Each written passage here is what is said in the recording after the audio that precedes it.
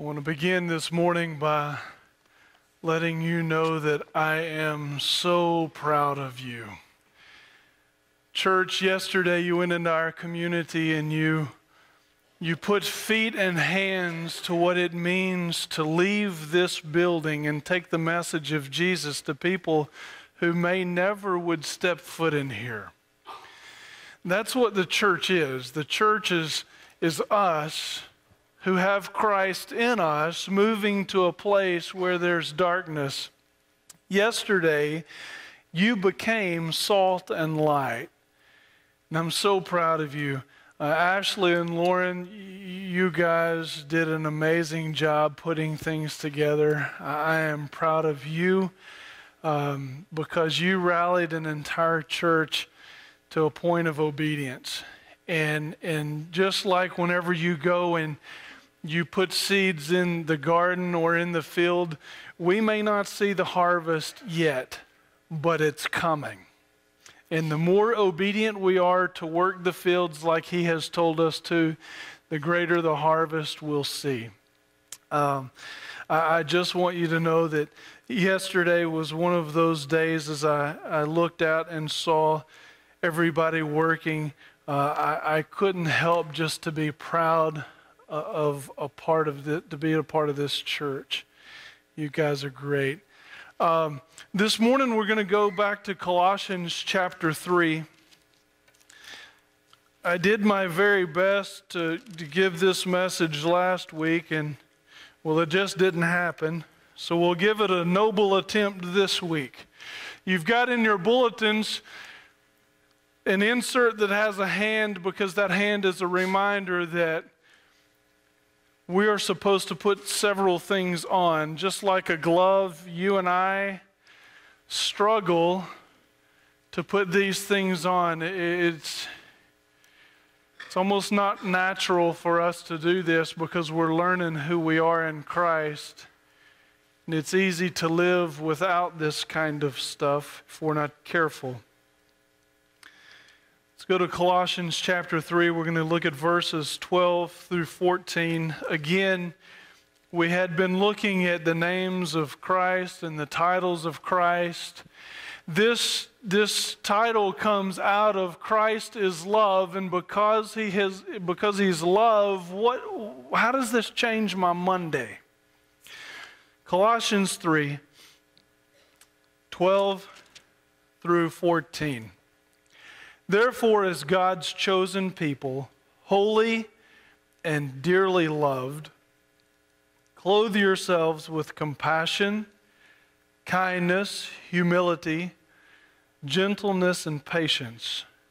Bear with each other and forgive whatever grievance you may have against one another. Forgive as the Lord has forgiven you or forgave you. And over all these virtues, put on love, which binds them all together in perfect unity. Let, let's pray. God, this morning, as we look at this passage in Colossians, I know that Christ is love. Because of that, I also know that you call us to display love. And this is really, really hard sometimes. It's even harder to display love the way you define it. Because often I wish I could. This morning, as we go through this text, Lord, I'm just asking that your Spirit really would have free reign in this place this morning ask that you would arrest our hearts and our minds so that we're only captured by you and your thoughts. We need you now more than ever if we're going to live like Christ. I pray in Jesus' name. Amen. Just going to quickly give you the points of the previous message so that we can move on hastily. Because Christ is love, I must put on these things that are totally unnatural for me to have in my life. That's the put on part. Because Christ is love, I must get my hands dirty with other people's needs. That's the have compassion. You showed compassion yesterday when you were hands and feet. Because Christ is love, I must be kind. This means that you share what is really needed with soothing help and you avoid all unnecessary harshness. I will say, whenever it is in the mid 90s outside, typically that's when tempers flare. You guys did a great job. I didn't have to pull anybody apart yesterday. Thank you. Because Christ is love, I must see myself accurately and express my need for Him. This is humility. He says we have to have humility when we serve. And then we get to today's part of the message. And after humility, he says that we have to have gentleness. Because because Christ is love, I must be gentle. Now, the text does not say because Christ is love, I have to be a doormat. That's not what gentleness means. And I'll tell you, I have struggled with this my whole life because I, I, I'm a big guy and I've been involved in sports growing up, and there was always this tension of, well, I don't want to break people, quite literally. I broke two legs when I was a kid in football uh, of, of people I played. And so, so because of that, I, I kind of backed off and I, I became a big pud. And when you play football, being a pud's not really a quality you want. And there's always this tension uh, inside us.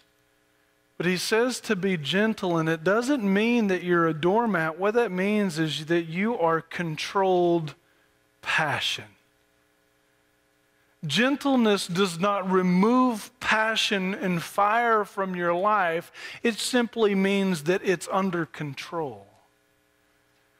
And so when he tells us to be gentle, you're, you're talking about Paul, who had a tendency to go off on people, and I would give a week's paycheck if I could go back and have one of those recorded. I would have loved to have seen him tee off on Peter.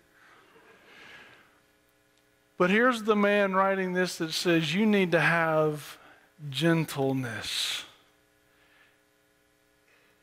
Some of you in this room, God has given much fire in your belly.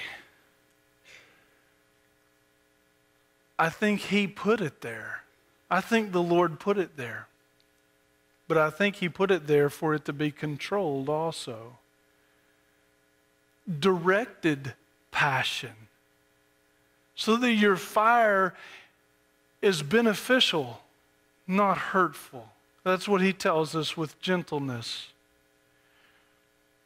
Now we're just kind of cruising right along here, and the next is He says, because Christ is love, I must be patient. Oh, that one hurts. He says that we are to have patience. Now, patience here is long passion or long suffering. It means that it takes you a long time to come uncorked. That's what patience is. Patience in life means that you're not walking around with a short fuse. Now, that would that would seem to encompass a lot of stuff and, and so for some reason Paul when he wrote this thought it necessary to clarify what patience is. I, I, I want to I want to just pause right here and I, I want to illustrate what I'm about to say, okay? This morning for breakfast, I had corn, whole grain wheat, sugar, whole grain rolled oats, brown sugar, almonds, rice, canola oil, wheat flour, malted barley flour, because it's not beer, that's just an ingredient. Corn syrup, salt, whey, malted corn and barley syrup, wildflower honey, caramel color, cinnamon, natural and artificial flavor, annatto extract, uh, it's a color. And I had a little bit of BHT. That was added to the packaging to, to keep the product fresh. That's what I had for breakfast this morning. The other way to describe it is, is to say that I had honey bunches of oats with almonds. I had honey bunches of oats with almonds. but this is another way of saying it, okay? So here you can see, you can see my honey bunches of oats with almonds. I, tell you this because participles are some of my favorite new things. I love participles. Participles in grammar tell you the ingredients because there's a, a, a big product that has been described that you and I are supposed to make. Let's say somebody came in to you and said, "Hey, guess what? Next week we're about to have a big party. I need to I need you to make some honey bunches of oats for our party." If you didn't know this, you, you, you wouldn't know to put BHT in there.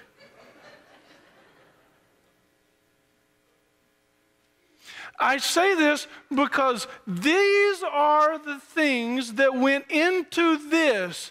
In participle speaking, Paul gives us right here, he says, You are to have patience.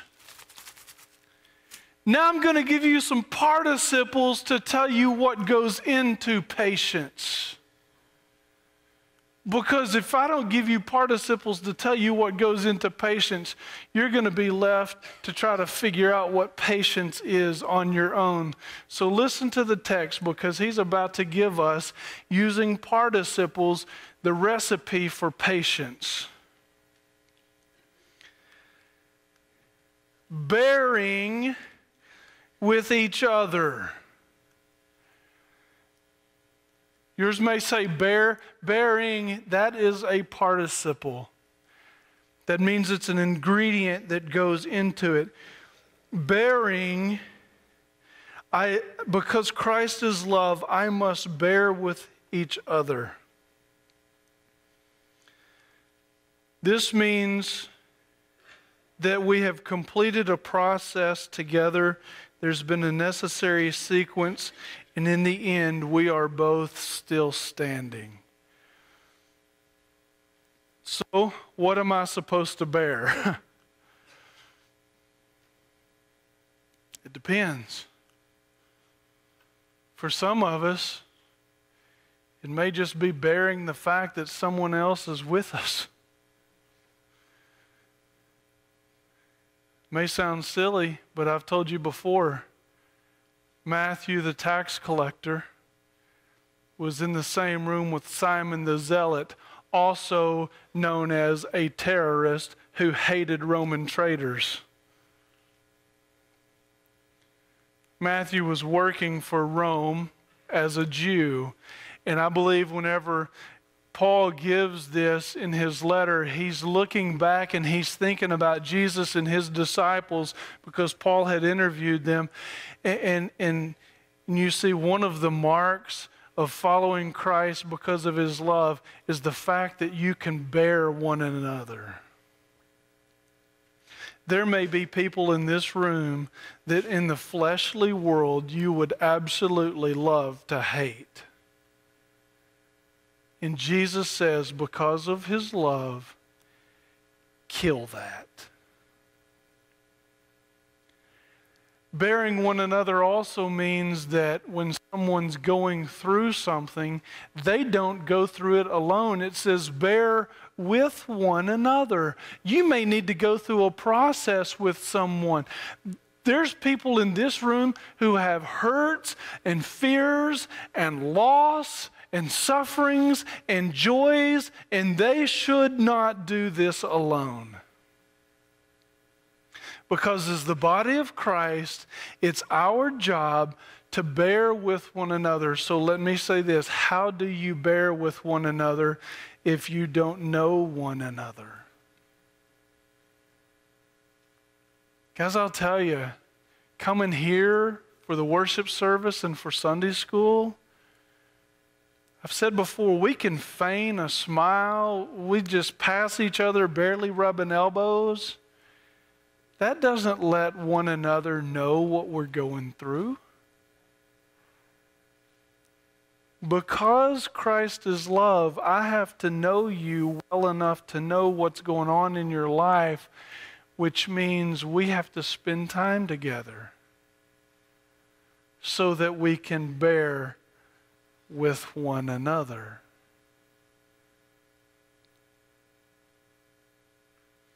This is one of those harsh realities that if you're in here and no one is bearing something with you, have you allowed them to get close enough to you so that they can bear with you? Because I know in this room there are people with big enough hearts who want to do ministry with you and to you, they just don't know your needs.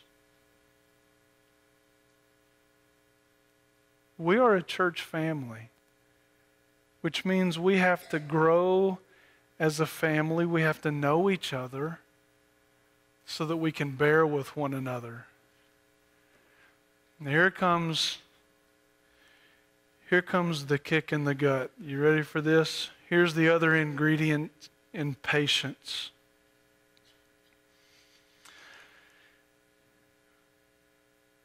He says, Forgive whatever grievance you have against one another. Oh, oh, forgive. Many of us don't like that word to forgive. Well, if you don't like the word to forgive, you're probably not going to like this because the New Testament uses several different words for forgive. The one that we most often think about is to put something away, okay? So here's part of my breakfast. You see it now, right?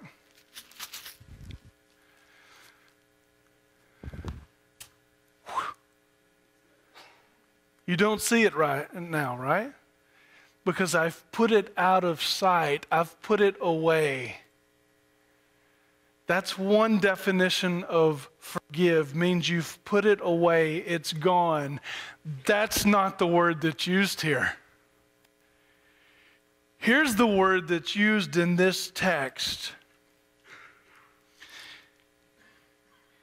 it is the word to bestow a favor unconditionally. He's talking to a church here and he says, I want you to go beyond just putting away what someone's done to you. I want you, in the face of what they've done, to bestow a favor to them unconditionally. I want you not only to not hold on to what they've done to you, I want you to be a blessing in their life with no strings attached. Guys, that's hard because our world is full of strings. I'll do something for you if you'll do something for me. We'll scratch each other's back. And this text says if you want to show the love of Christ, cut the strings, be a blessing, even if they don't deserve it or want it.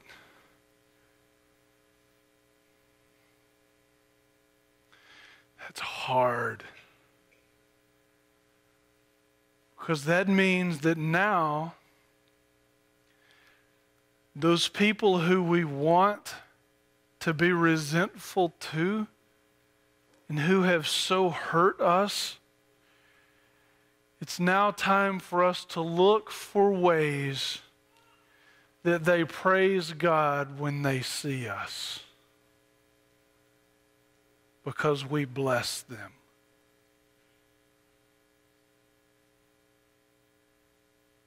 Now, I said that we do that because Jesus' love. Has He shown that? You bet he has. He hung on a cross just like that to forgive the sins of mankind. Does everyone deserve it? Absolutely not. Does anyone deserve it? No way. Is this a blessing beyond anything we could imagine? Yes, because it is the way to the Father. It's the only way to the Father.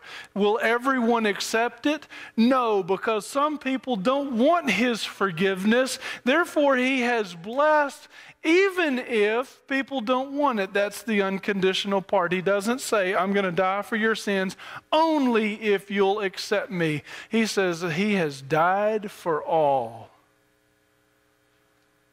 And that is the model that we as believers must take. So I wonder are we willing to forgive people as long as it's on our terms?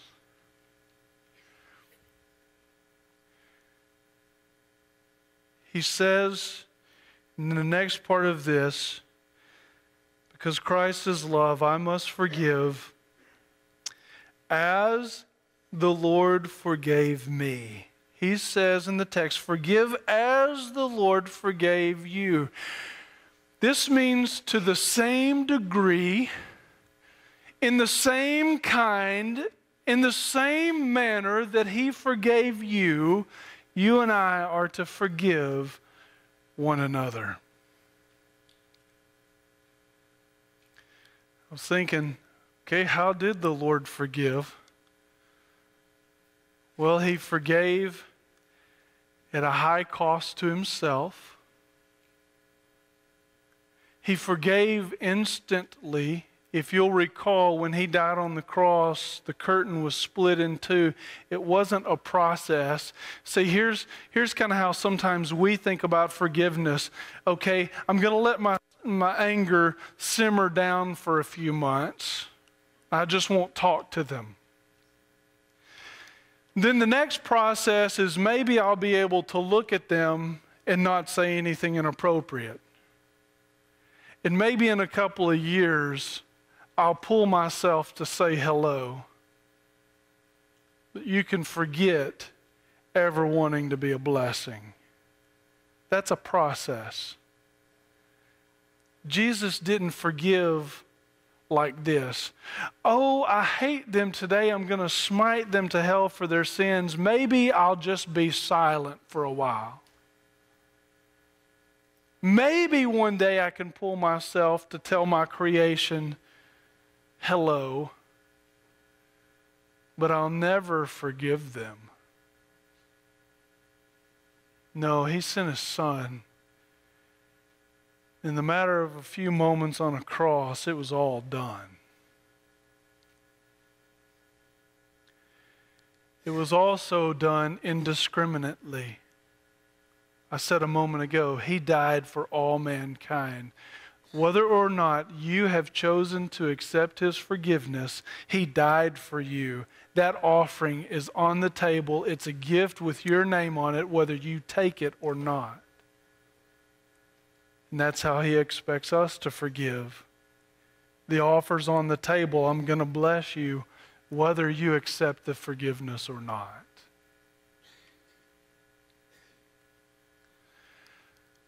Guys, I know that this is weighty stuff.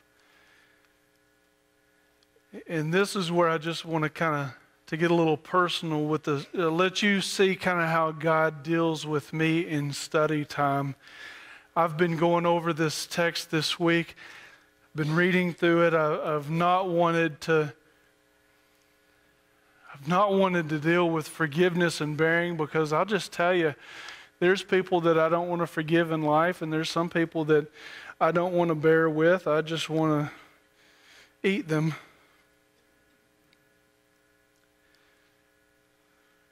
Because I may be a pastor, but I'm, I'm human. I'm not perfect. And, and so I've been wrestling through this text even up to this morning. And, and I've been studying God's Word simultaneously with several others each day. And God brings us to a, a text, and it is amazing when you're studying His Word, He gives you exactly what you need at the moment you need it. And this morning I was in 1 Peter.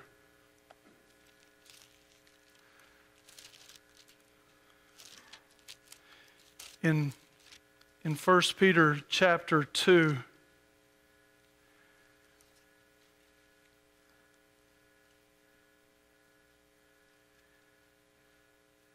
verse 11, he says this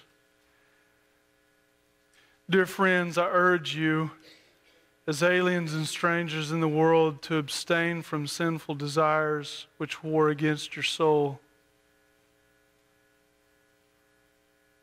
As I was reading this, I couldn't help but, but to think of a picture that I had seen years ago. Kim, could you please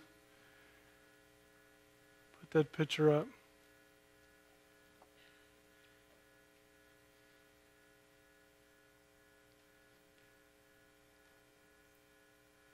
Because this isn't a political statement, okay? Please don't take it this way. Our president did not grow up in Texas on a farm. He didn't. He grew up in Chicago. As a kid, he was in Hawaii, Indonesia, Chicago, not a farm. I, I could use a bunch of illustrations of this, but this is the picture that, that just flashed in my mind. And I couldn't help but to think whenever I, I remembered this picture, that is a photo op if I have ever seen one. He was trying to target a certain group of people, and so the hat, and guys, I, I I'm in the same boat, guys. I don't live on a farm. I live in a neighborhood. The only thing that eats my grass is worms. I, have no cows. I have no horses.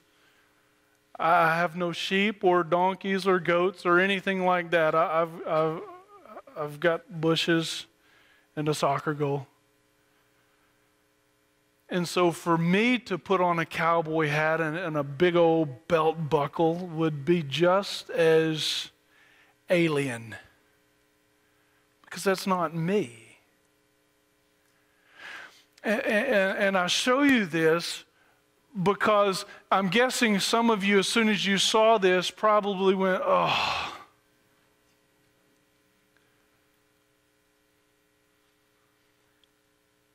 And guys, I can't help but to wonder if my God doesn't look at me and think the same thing. Listen to the text right above what I just read to you this morning. In verse 9, he says, But you are a chosen people, a royal priesthood, a holy nation, a people belonging to God. Guys, when we put on sin, when we clothe ourselves in the world's passions, when we clothe ourselves in sinfulness, God looks at us and says, That's Bert Spann. The sinfulness that you've clothed yourself in, that's not you. Bert, look at verse 9. You are a chosen people, a royal priesthood, a holy nation, a people belonging to God. So would you please, Bert, get out of that sinfulness? That's not you.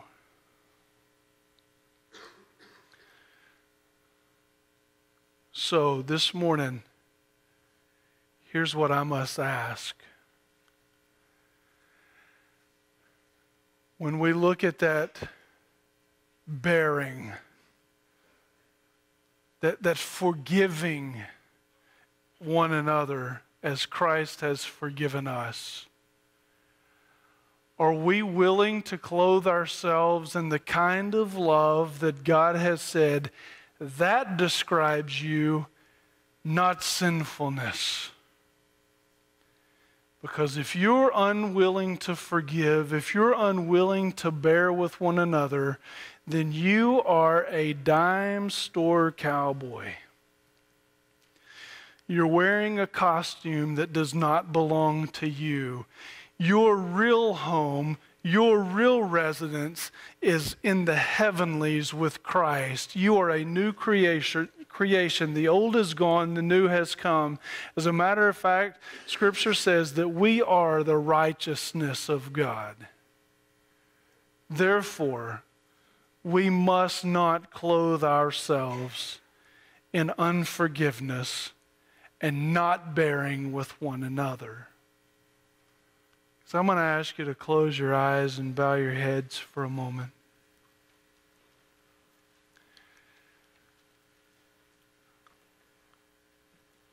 I'm going to guess that one of the last things that any of us want to be in here is a fraud. None of us wants that label. None of us wants to be known as something other than what we really are. And according to this text, as believers in Jesus Christ, we're new. We follow his model of love. We bear we forgive. We're kids of the King. And so this morning, if there's any unforgiveness in your heart, if there's someone in your life that right now tension defines you, not blessing, then it is high time that you confess those sins, repent, and change. Part of the invitation times means not only getting things right with God, but getting things right with one another. And so, in a few moments, when we have a time where we sing, if you need to go have things made right with someone else, do not leave this place in a dime store cowboy outfit. Get things right between you and others. Lord, we carry your name. We're Christ carriers. Which means the world out there is looking, and so is the world in here. And and I ask that you would shape us into the likeness of Christ. Forgive us when we have not lived as aliens and strangers. God, we know our home is with you. Help us to live like that. I ask these things in the mighty name of Jesus. Amen.